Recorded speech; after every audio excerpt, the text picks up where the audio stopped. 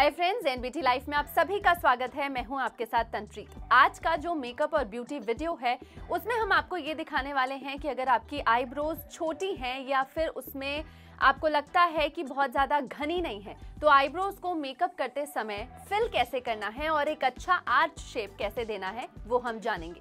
तो चलिए शुरू करते हैं। तो सबसे पहला जो स्टेप हम फॉलो करेंगे अपनी आईब्रोज को फिल करने के लिए या आईब्रोज बनाने के लिए उसके लिए हम लेंगे ब्राउन कलर का आई शेडो पैलेट, या फिर आपको लेना है कोई भी ऐसा डार्क कलर, वो चाहे आपके आई शेडो का भी हो सकता है, या फिर डार्क काजल आप यूज़ कर सकते हैं।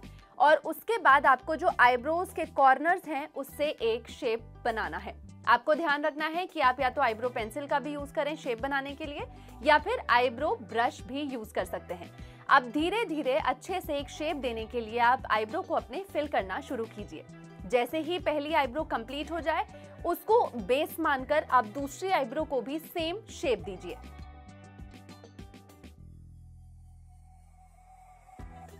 इसके बाद जो सेकंड स्टेप है, उसमें हमें यह ध्यान रखना है कि अपनी आईब्रोज को हमें हाईलाइट करके दिखाना है ताकि आईब्रोज फिल की हुई अच्छे से दिखाई दे। अब इसमें हमें लेना है कॉन्टोरिंग पाउडर या फिर आ, क्रीम ले सकते हैं आप या फिर कंसीलर ले सकते हैं और ब्रश की मदद से ये जो आपकी आईब्रो बोन होती है उससे आपको अच्छे से कवर करना है ताकि आपकी जो आईब्रो बोन है वो हाईलाइट हो पाए और आपकी आईब्रो का शेप अच्छे से दिख पाए।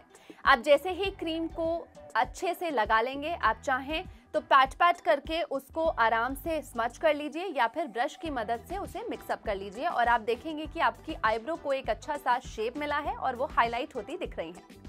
अब जो थर्ड स्टेप है थर्ड स्टेप में आपको ये करना है कि अब आपकी आईब्रो जिस तरीके से आपने फिल की है, उसको एक लास्ट टच देना है।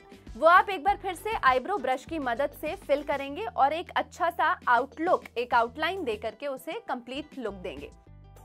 अब जो आपकी ब्रोबोन है, उस पर हल्का सा ग्लिटर लगाकर उसको एक हाईलाइट टच दीजिए और आप देखेंगे कि इस तरीके से आपकी जो आईब्रो है, वो कैसे फिल हो गई और लगेगा ही नहीं कि आपकी जो आईब्रो थी, उसमें कोई भी पहले से कमी थी। तो गाइस कैसा लगा ये आईब्रो बनाने का तरीका आर्टिफिशियली जो कि हम मेकअप की मदद से भी कर सकते हैं? इसमें आपको लगता है कि मेरी आईब्रोज में कम बाल हैं या फिर मेरी आईब्रोज ठीक से शेप में नहीं है? तो इस तरीके से आप अपनी आईब्रोज को फिल कर सकते हैं। कमेंट सेक्शन में मुझे बताइए कि ये वीडियो आपको कैसा लगा और सजेशन भी आपके वेलकम है। लेकिन उससे पहले आपको एनबीटी लाइफ को सब्सक्राइब करना होगा बेलाइकन दबाना होगा, ताकि कोई भी ऐसे इंपॉर्टेंट अपडेट आपसे मिस ना हो पाए।